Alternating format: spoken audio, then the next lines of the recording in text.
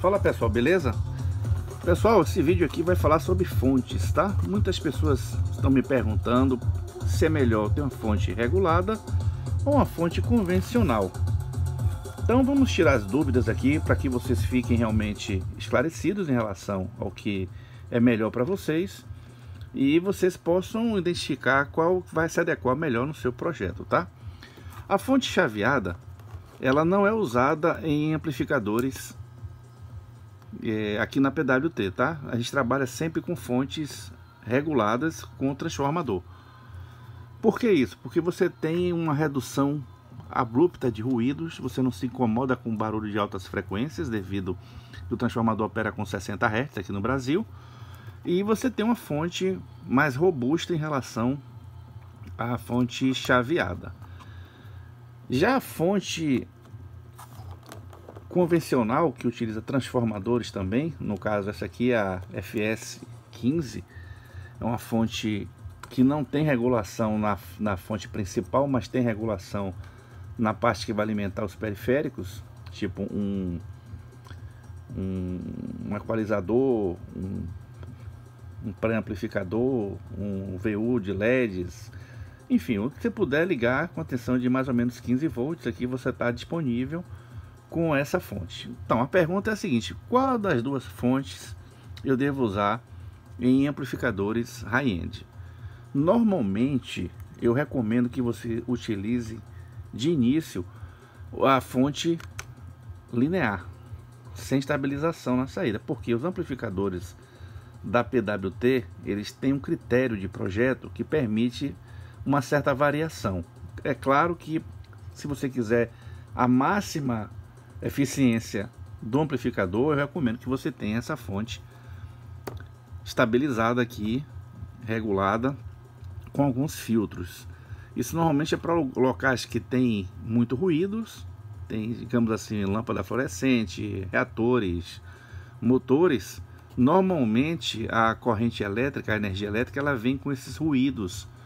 E nesse no caso nessa fonte aqui, você consegue blindar ela, reduzir bastante a ruído de alta frequência que vai perturbar o amplificador. No caso de você ter uma tensão aqui regulada, você vai ter uma certeza que não vai estar tá variando mesmo com a alta potência do amplificador. No caso aqui, você vai modificar a distorção harmônica porque você não vai ter controle, ou seja, quando tiver aquela variação de, de, de consumo maior, a fonte vai ceder até o limite do transformador. O transformador é um item muito importante que você não pode deixar de levar em consideração e você ter um critério para utilizar a fonte. Se você saber que sua rede estabilizada, tiver um transformador de boa qualidade aí, você, com certeza você vai usar essa fonte e você vai ter uma distorção harmônica é, bem reduzida. Porém, sabendo que quando você aumentar da, de, de, de pau no amplificador, Aqui você não vai ter uma tensão regulada na, na parte de maior corrente, né? parte de maior tensão em corrente.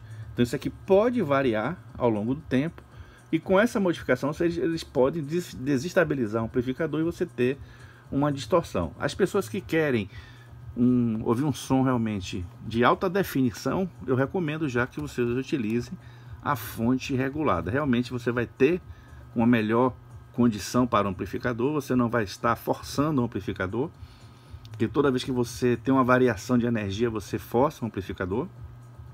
E assim que você tiver uma fonte regulada, você vai perceber a diferença na qualidade dos graves, principalmente, porque realmente a filtragem é bastante robusta, bem maior do que a fonte simples, e você vai ter um, um dreno de corrente é, chamada corrente instantânea que vai para naquele momento que tem aquela, aquele grave, ele não vai estar aquele grave com aquele zumbido de 60 Hz, que aqui no caso ele passa, ok? Ele vai passar por esse por essa fonte. Então a diferença é essa. Bom, aquelas pessoas que não se importam e vê o grave é, variando, não tem problema. Mas é tipo uma coisa, quem comprou um amplificador é para ouvir os detalhes da música, ouvir realmente é, as nuances, perceber o, o, instrumento, o timbre.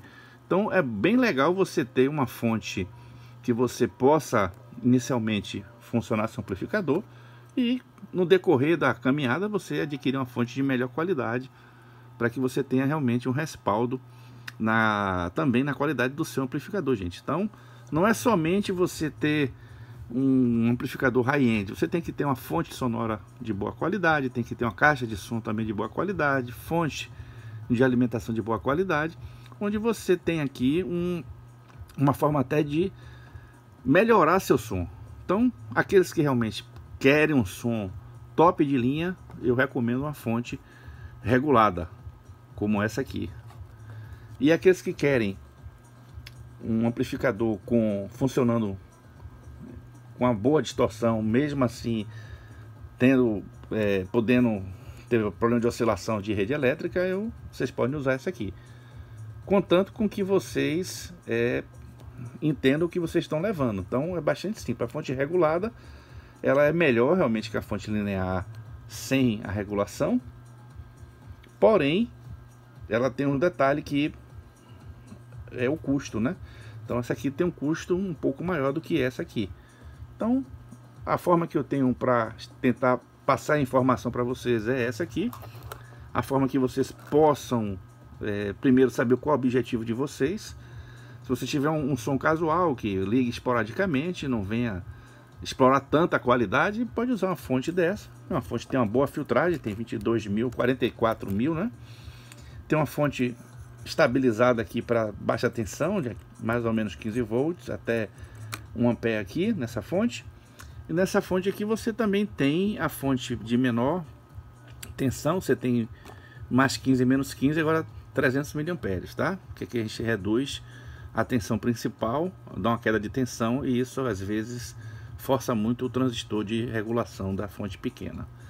Utiliza aqui nesse modelo aqui, utiliza dois pares. Dá para você ter um controle de corrente aqui até 10 amperes sem nenhum problema. A fonte aqui ainda tem a parte de, de, de, de gabinete dela, que é um dissipador robusto, dá para você dissipar bastante energia. E um amplificador, como não exige uma potência contínua, ela varia de, de, acordo com a música que vocês utilizem, é uma fonte que com certeza vai durar bem mais. É, nessa aqui utiliza dupla fonte, dupla ponte retificadora. Temos fusíveis de proteção, esses fusíveis são de proteção para sobrecarga realmente da fonte eles foram calculados, eles são é, é, fusíveis rápidos, não são lentos. Temos um indutor, esse indutor aqui ele foi calculado justamente para bloquear frequências, altas frequências, oriundo da rede elétrica. E a parte de estabilização, ela trabalha com dois setores. O primeiro setor ele pega uma tensão que vai até 60 volts simétricos e derruba para 50, que é a recomendação que eu faço para vocês, tá? Para vocês terem realmente uma qualidade de energia na saída, uma estabilidade de 1% na saída, é se entrar, é, aqui no caso 60 a 650, a diferença de 10 volts, ou seja, se tiver aqui 50, aqui 40 também está com essa diferença. Contanto que você não baixe muito a tensão para não sobrecarregar os transistores de regulação, tá? Porque essa energia excedente, ela é é, eliminada através da tempo de efeito Joule aqui no dissipador. Se bem que eu posso é, ter uma menor, uma maior dissipação se eu colocar um ventilador, uma ventoinha, mas não é esse propósito aqui da fonte. A fonte aqui você tem uma energia é, boa, com qualidade, potência. Você 10 amperes aqui você tem variação de 1%, não chega nem a 1%. E você tem uma estabilidade realmente. Isso aí para amplificador é um ganho que a gente não não, não visualiza talvez a, a importância disso, mas as pessoas que têm realmente um ouvido bem depurado percebem quando você está usando uma fonte de boa qualidade para um que não tenha tanta qualidade assim. Então, aqueles que querem comprar uma fonte que para realmente para o dia a dia, para realmente ter um som em casa, ouvir um som final de semana, né, que é uma fonte robusta, bem feita aqui, ó, tranquilo. A FS 15. É uma fonte bastante funcional. Ela tem alguns filtros? Tem. Mas não é uma fonte regulada. Somente essa é a diferença. Utiliza também 44 mil de filtragem principal. Não utiliza filtragem alternativa, como tem aqui na, na fonte regulada e assim você tem uma fonte, os diferenciais das fontes, tá? Fora isso, é o mesmo padrão construtivo, sempre visando a extrema qualidade. São fontes independentes aqui nesse caso, se é que você precisa de um transformador que tenha dois é, secundários, um de maior tensão, outro de menor tensão, para que você tenha as fontes funcionando separadamente, ok? Isso aí é um ganho que você tem em relação à fonte regulada, porque que você disponibiliza uma tensão menor, uma tensão de até 1 ampere, que isso aí às vezes é muito, mas é, ela foi desenvolvida para fornecer até 1 ampere. Já essa aqui tem uma restriçãozinha, que é a parte de corrente máxima de 300 mA por polaridade, e você tem aí uma fonte bastante robusta em relação à regulação. Essa fonte foi desenvolvida exclusivamente para amplificadores. A finalidade dessa é, é essa. Não recomendo usar como fonte de bancada para você fazer testes, porque é uma fonte que tem uma certa sensibilidade. Ok? Se vocês quiserem uma, uma fonte de para bancada, existe bastantes é, esquemas aí na, na, internet que vocês podem explorar, tá? inclusive é bom para fazer uns testes.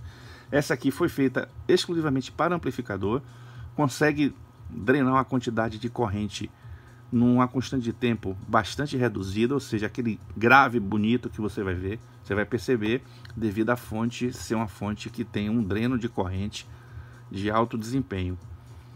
Ok, pessoal? Então é isso aí, essa é a diferença. Todas as duas fontes são boas, cada uma tem seu, sua finalidade de acordo com cada um, com o bolso de cada um.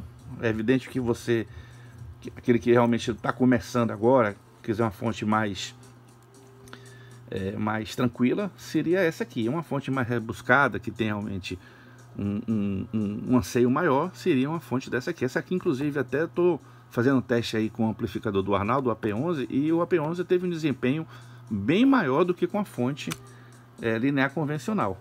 Ok, gente? Então essa aí fica a dica para vocês. Se vocês tiverem alguma dúvida ainda, utilize aí o espaço abaixo da descrição do vídeo para fazer seus comentários e perguntar qual seria a dúvida de vocês. Se eu puder responder, com certeza vocês vão receber aí o retorno da sua pergunta. Valeu, pessoal. Forte abraço e fiquem com Deus.